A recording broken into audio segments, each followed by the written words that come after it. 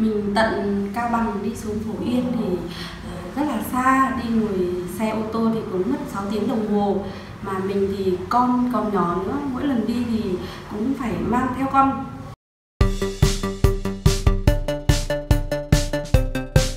Rồi, chào các bạn nhé mình tên là Nhã mình đến từ thành phố Cao Bằng. Mình vừa tháo cài xong mình vừa à, nghiền răng xong mình hàng rất là vui. Các bạn thấy mình thế nào nhỉ? Hiện tại thì mình thấy mình mình, mình rất là tự tin. À, ngày xưa mình thì có một bộ răng rất là xấu. Răng thì mọc thiếu không đều răng thưa. Mọc nó nói chung là xấu. Mình không dám à, à cười trước đám đông. Mình không dám hé răng ra cười bao giờ. Nhưng bây giờ thì mình rất là tự tin. Mình rất thích cười buồn, mình cũng cười, mà vui mình cũng cười. Bây giờ mình lấy nụ cười làm niềm vui của mình. Nhờ các bác sĩ ở nha khoa Thùy Anh đấy. Nhờ Thùy Anh này, em Đăng với lại các y bác sĩ ở đây đã giúp mình bây giờ có một hàm răng. Nói chung là mình đẹp thì mình cũng không không biết là đẹp như nào để cho mọi người tự nhận xét. Nhưng bản thân mình thì mình thấy rất là tự tin.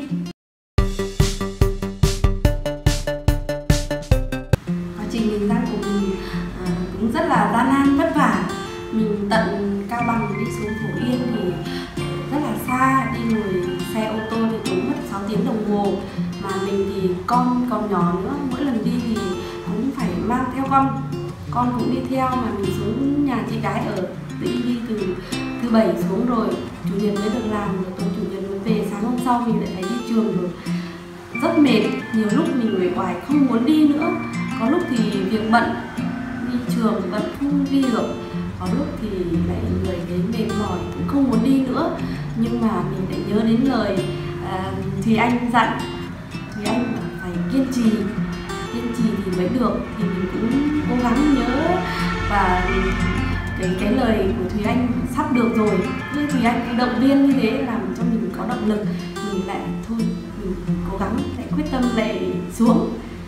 Cứ mỗi tháng mình xuống một lần như thế cũng được hơn năm rồi đấy đi cũng rất là mệt. Nhưng bây giờ thì thì, thì mà mình mình thấy trong quá trình mình đi như thế mình cũng không không thấy mệt nữa. Bởi vì như thế mình đã có một kết quả rất là tốt rồi thì là là mình mình thấy mãn nguyện chứ không không không thấy thất vọng đâu. Nói đến nhìn răng thì chắc chắn các bạn rất là sợ mình cũng thế. Mình rất là sợ đau. Nhưng trong quá trình liềm ấy thì mới đầu mới đầu mới làm về lần đầu tiên ấy, thì, thì cũng khó chịu đau được cũng gần một tuần. Rồi là quen dần thì mình ăn uống cũng bình thường.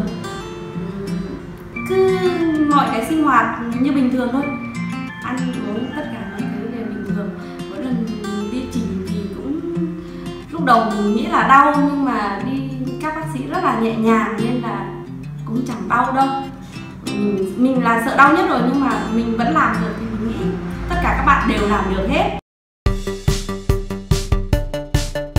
Nếu các bạn có có có răng ờ, bị hô này răng thưa này răng xấu này, các bạn chỉ cần đến nha khoa Thùy Anh thì các bạn chắc chắn sẽ được một hàm răng rất là đẹp và sẽ rất là tự tin khi mà đi đứng trước đám đông.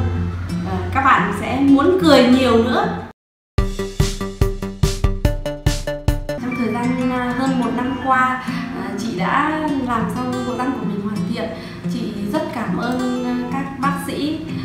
Điều dưỡng ở nha khoa Thùy Anh. À, đặc biệt là em Thùy Anh với em Đăng đã làm cho chị bộ răng rất là đẹp. Và cảm ơn các em đã tạo điều kiện cho chị ở xa và mỗi lần chị xuống là giúp đỡ chị, tạo điều kiện cho chị làm trước. Chị bắt xe đi về à, Cao Bằng sáng hôm sau chị kịp giờ làm. Chị rất cảm ơn à, các em.